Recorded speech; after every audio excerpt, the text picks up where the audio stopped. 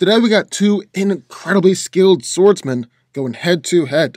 Luke Skywalker versus Samurai Jack. Who comes out on top? Well, let's find out. Eyes up.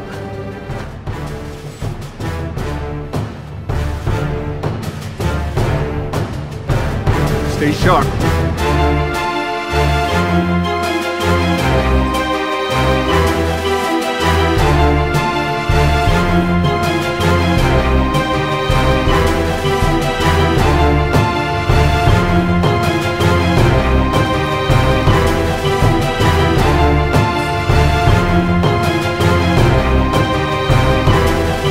Stay down.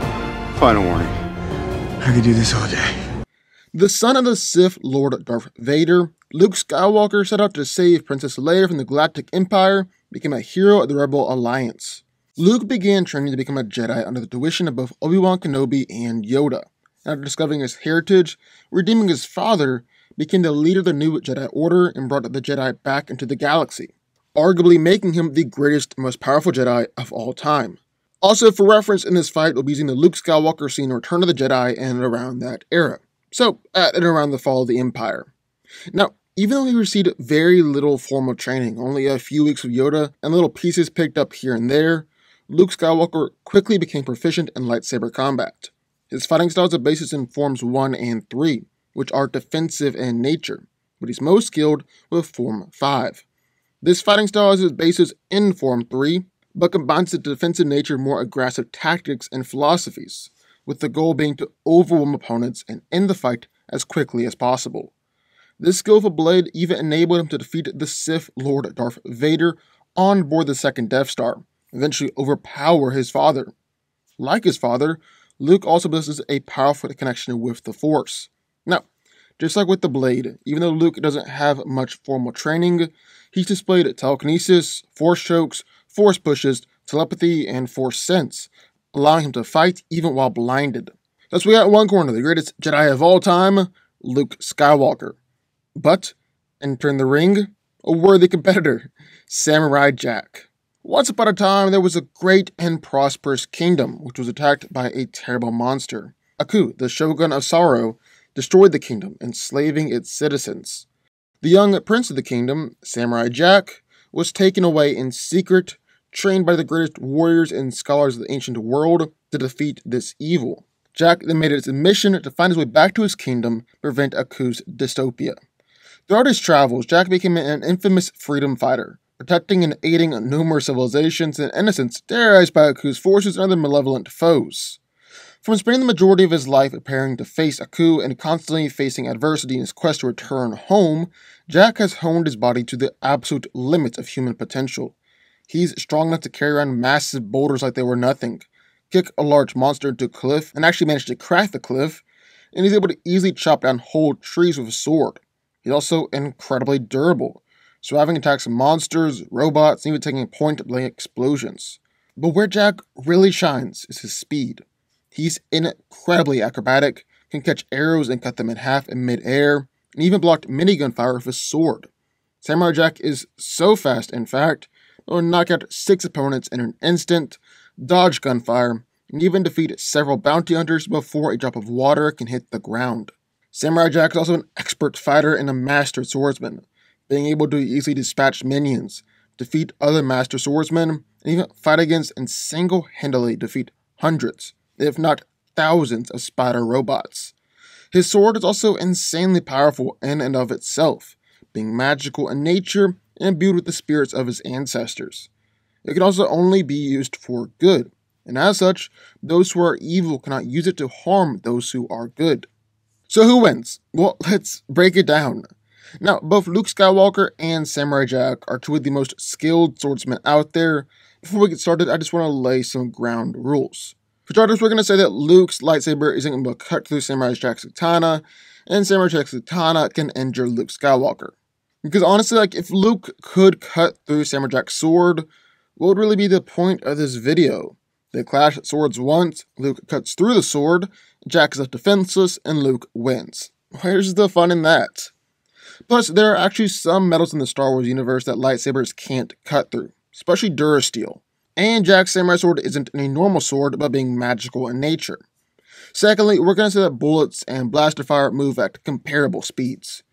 Because honestly, we have absolutely no clue how fast blaster fire moves in universe in Star Wars, and I really just don't want this video to come down to analyzing travel speeds of blasters versus bullets. I'd rather focus on these two heroes, let the more powerful, more skilled one come out on top. So, with that being said, who wins? Well, first we gotta take a look at is physicality. And honestly, there's no way that Luke is stronger than Jack. I mean, Jack has lifted up four robot spiders, and each one were larger than him. He's pushed over stone pillars and broken massive rocks. With his sword, he sliced trees in half, knocked over giant monsters, destroyed robots, even clashed with Mad Jack, and swung swords hard enough to create sparks, with Mad Jack being his physical equal, and also being strong enough to slice a tree right down the middle. However, the question isn't is Luke stronger, it's is Luke strong enough? Is he strong enough to fight against Jack? And the answer is yes. Because you see, Luke is able to amp himself via the Force, and by doing this, he can match and actually overpower other characters with incredible strength, like Darth Vader. While Vader might not sound like much at first, he is strong enough to easily punch apart solid armored combat droids with his bare hands and hold back blasts from rebel tanks and blast powerful enough to actually crater the Earth. Yet Luke did overpower Darth in their fight on the second Death Star. Now, durability isn't really going to be super important in the fight, since that Jack's sword will cut Luke and Luke's saber will slice up Jack, but I'll mention it anyways considering that Jack is prone to fight hand to hand alongside a swordplay, and Luke will throw stuff with the Force. Well, Jack is able to take point blank explosions, have a 700 ton sumo wrestler belly flop down on top of him, yet still be fine, and he's even fallen through the atmosphere from outer space, hit the ground, caused a massive explosion, yet just a few seconds later, walked away with no damage done.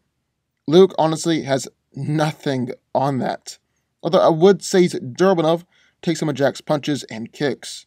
He survived explosions that destroyed buildings, so had a blaster shot that cleared the ground and sent him flying dozens of feet in the air, yet Luke wasn't hurt. And even when Luke was out of his prime, he was still just fine after having a building drop on top of him. Luke actually survived a crash from orbit as well. While he was in a ship, Vader mentioned that only someone who was strong in the Force could survive such an impossible crash. However, the most important thing in this fight has got to be their speed and agility. Now, Luke is crazy fast, especially when he's using the Force to guide him.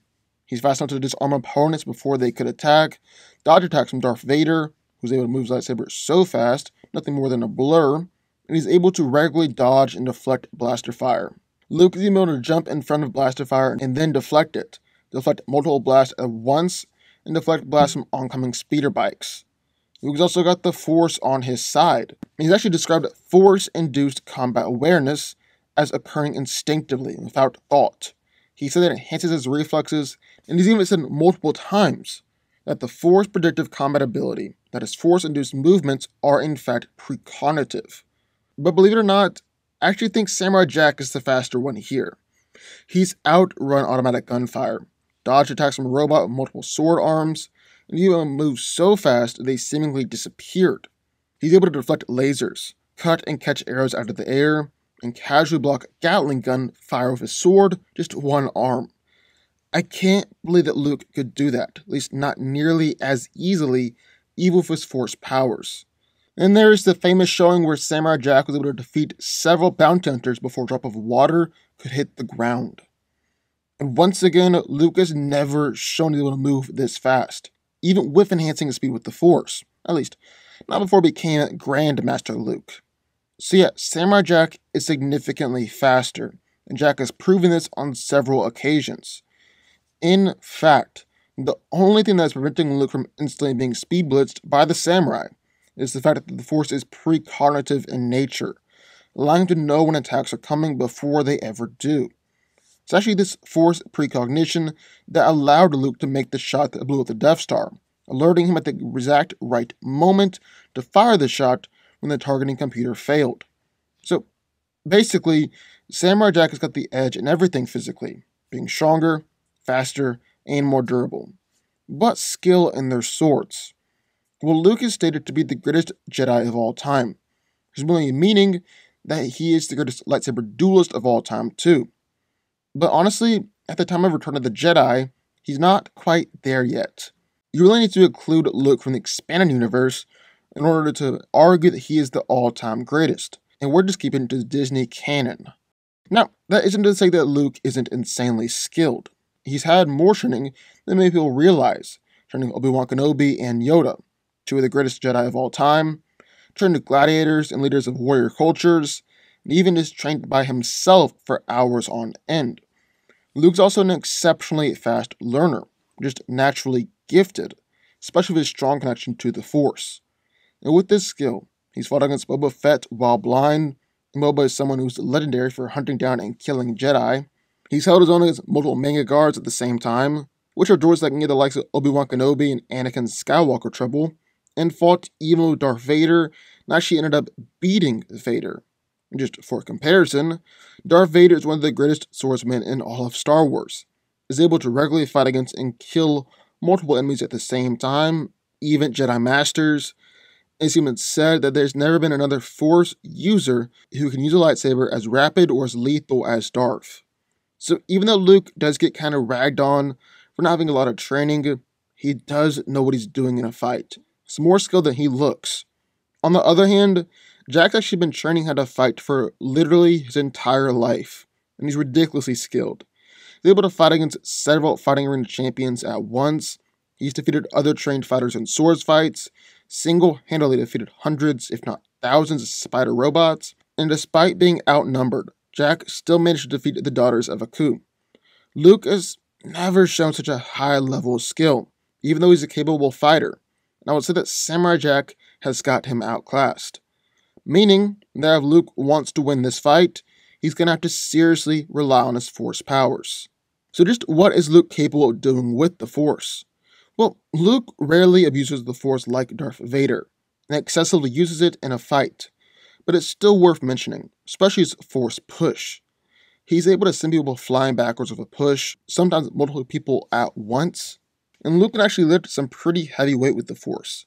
During his training, he very nearly lifted the X Wing out of the water, so it would stop and hold 10 20 tons of rock, and also managed to open sealed blast doors that even, that even thermal charges have issues denting open. So, end of the day, who wins? Well, I can actually see that Luke's Force telekinesis being a saving grace in this fight. And combined with Luke's Force amped strength, he should be able to contend with Jack's greater strength. If his precognitive abilities, plus Luke's Force speed, with a fight against Jack's own speed. But at the end of the day, I think Samurai Jack's physical superiority is still going to lead him to victory. Jack is still stronger, he's still more durable, and he's still a whole lot faster. Jack's also the more skilled fighter, and since Luke doesn't tend to spam force powers and instead relies on his lightsaber, that's going to be a great advantage for Jack.